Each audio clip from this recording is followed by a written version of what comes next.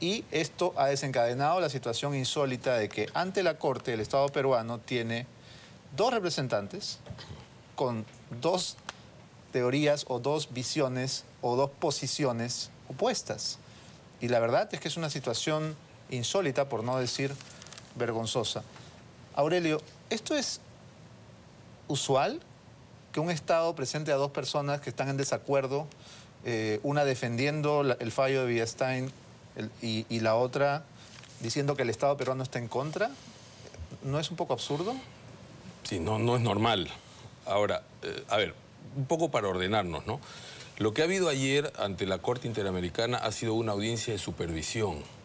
Hace más de 10 años ya la Corte falló en el tema de Barrios Altos y señaló, entre otras cosas, que el Estado tenía la obligación de llevar adelante la investigación y de sancionar a los responsables. A partir de la dación de la sentencia, lo que vienen son audiencias de supervisión a pedido de alguna de las partes.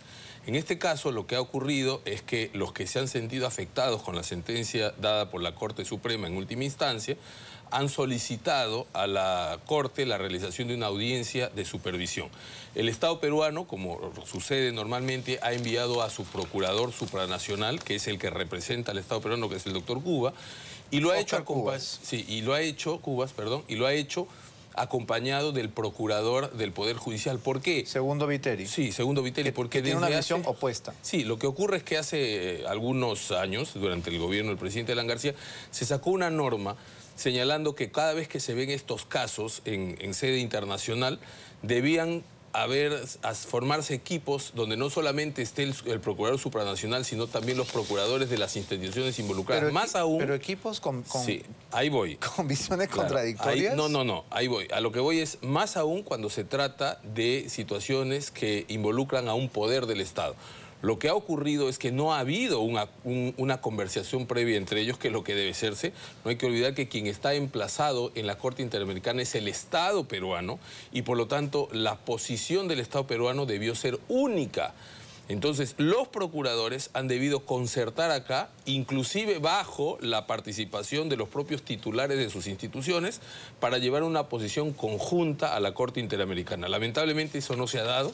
Lo que hemos visto ayer ha sido un espectáculo muy mal, que ha dejado muy mal al Estado peruano, porque hemos visto por un lado a un procurador supranacional representando al Estado peruano señalando una posición totalmente distinta a la que señala el procurador del Poder Judicial. Y entonces lo que ha hecho finalmente la Corte, que además tiene mucha experiencia en esto, han puesto, en el caso del procurador supranacional, es un procurador recientemente nombrado, no tiene la experiencia que debería tener para enfrentar a una corte eh, que como la, Corte Interamericana que vienen viendo cientos de casos al respecto y que tienen mucho oficio para interrogar a las partes y al final lo que hemos visto es un procurador atrapado en una posición totalmente incómoda y totalmente eh, eh, con poco conocimiento y una Corte decidiendo, diciéndole al final, oiga, mejor váyanse y avisen por escrito cuál es finalmente la posición del Estado. Bueno, para que la gente lo tenga claro, se va nuevamente ante la Corte Interamericana de Derechos Humanos para hablar específicamente del tema del fallo del, juez Villestein sobre los crímenes del, grupo, del, grupo Colina. Claro, que el juez Villestein es el titular de la Corte Suprema. Entonces, el Estado peruano presenta, ¿no es cierto?, ante la Corte eh, el rechazo ante esta sentencia. Es decir, van a Costa Rica a decir el Perú rechaza esta sentencia. Y otro procurador dice, no, el Perú defiende esta sentencia. Sí, pero no ha sido el Estado el que ha pedido la audiencia. Correcto, pero tanto el Poder Judicial como el Ministerio de Justicia son el Estado. Ah, no, sí. Entonces no, puede, no podemos presentar a dos procuradores con opuestas. A pedido de eh, los agraviados que se han sentido afectados con la sentencia que dio la Corte Suprema. Entonces, como ellos piden, lo pidieron el 25 de julio, la Corte Interamericana programó esta audiencia de supervisión y naturalmente convocó a la otra parte, que es el Estado peruano, que ha ido representado con dos procuradores. Ahora, no está mal que vayan los dos. Lo que tú has dicho es correcto. Lo que está mal es que cada uno lleve una versión totalmente contradictoria porque al final el emplazado es uno. ¿Para qué no El Estado es uno, no son dos. Lo que ellos han podido es explicar previamente que, además hay un, hay un debate en sede nacional porque el Poder Ejecutivo ha interpuesto un amparo y que en su momento eh, eso tendrá un resultado final, aunque la Corte Suprema ya se pronunció. Ahora, hemos llegado ya a extremos tragicómicos en los cuales se le ha pedido al Procurador del Estado explicar qué significa caviar. Que esta parte ya me parece digna de un sketch de programa cómico. Como, como el, el, juez Villastain siempre usa el término caviar y los caviares y las organizaciones de derechos humanos son caviares, la Corte ha solicitado formalmente que se explique qué significa caviar. Es increíble, la verdad, lo que está pasando. ¿Cómo nos deja esto ante la Corte? Bueno, definitivamente deja mal parado esto la posición del Estado tiene que ser una sola. Y acá estamos viendo dos posiciones, una del Ejecutivo a través del Ministerio de Justicia y la otra posición del Poder Judicial. No explicar el término caviar, que creo que todos los abogados conocemos y todos los peruanos sabemos lo que significa el término peyorativo caviar. Pero es increíble que, que, que en una discusión jurídica ah. haya que explicar un, un término de jerga eh, peyorativo, pero además irrelevante, ¿no? Así es, definitivamente, pero lo que la Corte ha querido saber es por qué Biestein tanto emplea la palabra caviar. ¿Qué significa caviar? Eso es lo que le ha, le llamado la atención a los miembros del, Tribunal de Aceite. Y el procurador no lo tenía claro, al parecer, porque no, no, lo, no lo pudo explicar. Yo creo que sí lo tenía claro, discúlpeme, Aurelio, lo tenía claro, pero no lo quiso explicar que es diferente, ¿no? Bueno, pero finalmente, la sesión de ayer ha sido infructuosa, ha sido inútil. Ha sido infructuoso e inútil para el Estado peruano. Ciertamente. ¿Por qué? Porque el Estado peruano ha tenido que defenderse. El Estado tiene que defenderse y para eso designa personas ante la Corte Interamericana de Derechos Humanos. Y que han hecho un espectáculo lamentable, en donde uno defiende al Poder Judicial en la sentencia de Bienstein y el otro definitivamente va a defender lo que es la legalidad.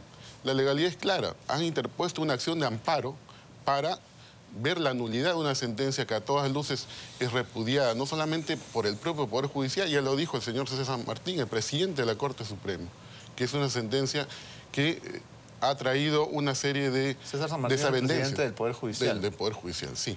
Y Ben Stein es presidente de la sala que sí, claro. vio en, segunda instancia. Pero es que, una vez más, el Poder Judicial tiene, tiene dos, dos posiciones, dos voces, el Estado también, entonces son somos una especie de Dr. Jekyll y Mr. Hyde permanente. Mira, Beto, dos cosas. Primero, eh, recordar lo que te dije hace un momento, ¿no? Aquí tienes a una corte integrada por jueces que tienen mucha experiencia, interrogando, sacando datos, inclusive a veces este, provocando algún tipo de reacciones. O sea, yo cuando vi la pregunta de que le hacía qué significa izquierda caviar, eh, me entendí inmediatamente que lo que estaba tratando el juez era de eh, generar algún tipo de reacción, porque él sabe muy bien lo que significa izquierda, este, el término caviar. O sea, bueno, pero el se término usa caviar, acá, ¿no? No, no, no, no. No, en Europa se, habla de la izquierda champán. Se dice que tiene izquierda. más o menos. En Argentina tiene, dice izquierda. Tiene la misma, la misma acepción, o sea, tampoco somos creadores de nada. Lo que está haciendo es provocando algún tipo de reacción y eh, frente a, un abogado inexperto en, este tipo de instancias, entonces va sacando algún tipo de, ventaja frente al interrogatorio que quiere hacer. Pero lo que vamos a, a decir es lo siguiente. Eh, es verdad que hay una acción de amparo interpuesta por el Ministerio de Justicia contra la decisión de la Corte Suprema, pero no hay que olvidar que la acción de, amparo es una acción de garantía, que lo que busca es eh, atacar algún defecto en, la tramitación del proceso, en, la en, alguna violación en el debido proceso o alguna afectación en el derecho de las partes cuando se tramitó el caso no se puede pedir al, Tribunal Constitucional que ocupe la posición del Poder Judicial. El Poder Judicial tiene autonomía para interpretar la ley aplicar una sanción determinada. Lo que el Tribunal Constitucional va a ver a través de esta acción de amparo es si el proceso se ha llevado de una manera correcta sin afectar claro, pero una vez más, El Poder Judicial tiene autonomía. ¿Cuál Poder Judicial? ¿El de San Martín o el de Villastein? No, pueden tener posiciones distintas los magistrados, pero en, la medida en que las sentencias, en la medida en que las sentencias se den siguiendo los cauces que señala la ley, los jueces tienen absolutamente autonomía para poder interpretar la ley y aplicar una sentencia. Entonces, vamos a ver qué es lo que dice el Poder Judicial, finalmente esta acción de amparo en el Tribunal Constitucional. Porque algunas semanas atrás, permíteme que te, lo diga, salió una sentencia del Tribunal Constitucional en un caso entre una entidad bancaria y una empresa muy conocida. Cuando salió ese caso, la Corte Suprema se pronunció, hizo pronunciamientos públicos diciendo que el Tribunal Constitucional había afectado la autonomía del Poder Judicial de ser el Poder Judicial el que administra justicia en el país. Semanas después sale el fallo de Villestein y el Ministerio de Justicia decide irse a través de un amparo también al Tribunal Constitucional. Y entonces algunos dicen, bueno, está bien que el Tribunal Constitucional decida, total, ¿en qué mundo estamos? ¿En el mundo en donde se respeta la autonomía del Poder Judicial o en el mundo en donde el Tribunal Constitucional va a terminar haciendo el trabajo del Poder Judicial? ¿Estás a favor o en contra de la sentencia de Villestein? No, no estoy a favor ni en contra de la No sentencia. Yo hubiera preferido... No se puede no estar ni a favor ni en contra. No, no, lo que te quiero decir es lo siguiente. Yo, yo, yo hubiera preferido que la pena no se rebaje, ¿no es cierto? Lo que sí tengo que hacer es respetar absolutamente la... eh, la formalidad de entender que existe en el Perú un poder judicial autónomo que, y que los jueces tienen libertad de criterio dentro de esa autonomía. O sea, yo no puedo pretender que cada vez que un juez da una sentencia, aunque no me guste, entonces termine siendo denunciado o acosado, porque siendo abogado yo, entonces tuviera que ir denunciando cada vez que pierdo un proceso. Yo lo que le pido a los jueces es que actúen de acuerdo a la ley y que su criterio se ciña a lo que dice la Constitución y la ley. Pero no se trata de que la, de que la, la- la decisión del juez nos guste o no nos guste. Simplemente que rebajarle penas a asesinos que desde el Estado han acabado con población civil debería merecer la condena unánime, ¿no te Yo parece? creo que ahí está el talón de Aquiles de esa sentencia, en la rebaja de la pena. Porque si no hubiera habido una rebaja en la pena, no se hubiera generado toda la polémica que se ha realizado.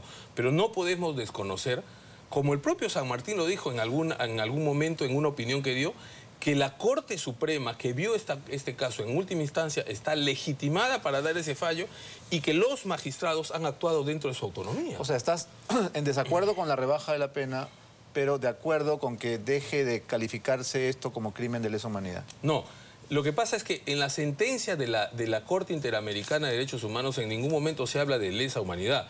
La Corte Interamericana lo que le manda al Estado es a investigar los hechos que en ese momento reclamaban las víctimas, naturalmente, y sancionar a los responsables. ¿De acuerdo a qué normas se investiga y de acuerdo a qué normas se sanciona? Se investiga y se sanciona de acuerdo a las normas internas del país y se, utilizan las normas internas del país en un canal legítimo, con una corte formada legítimamente, reconocida por la Constitución y la ley, lo que nosotros tenemos que hacer es respetar los fallos. Ahora, el Ministerio de Justicia ha interpuesto una acción de garantía, considerando que el fallo puede estar violando algún tipo de derechos, veremos qué dice en última instancia el propio Poder Judicial o el Tribunal Constitucional. Lo que tenemos que hacer es reconocer que hay instancias legales en el país y que no podemos estar aplaudiendo o abuchando a las instancias en función de que las sentencias nos gusten o no nos gusten. Hay instancias legales y las instancias legales actúan y se respetan de acuerdo a las funciones que tienen. ¿Cuál va a ser eh, el siguiente paso? Es decir, luego de, este papelón, ¿qué, qué, qué se espera ahora? ¿Hay una nueva sesión? ¿Hay una posibilidad de dar un nuevo examen después de haber sido jalados? No, definitivamente los jalados ya no lo quita nadie, ¿no? Eh, tienen el derecho de presentar un argumento escrito, pero lo que viene ya es la sentencia de la Corte, una resolución en la cual va a ver si el Estado dio cumplimiento a las obligaciones contenidas en la sentencia del año 2001, el 14 de marzo, en donde se vio el caso Barrios Altos. Lo que va a hacer la Corte no es declarar la nulidad del proceso, la nulidad de la sentencia de Biestein. Lo que va a hacer la Corte es va a decir que el Estado peruano ha incumplido obligaciones contenidas en su sentencia de investigar y sancionar adecuadamente a los violadores de derechos humanos y por tanto va a ser el propio Poder Judicial, la Corte Suprema, la que revise su sentencia y emita una nueva resolución. Y hay un antecedente en este caso que es el caso de la Cruz Flores, un caso en donde la Corte Suprema también en una resolución consentida ejecutoriada había establecido pues que eh, se debe cambiar porque la Corte Interamericana de Derechos Humanos así lo había establecido. Entonces no estamos hablando de que no se va a ver, sí debe haber una nueva resolución y una nueva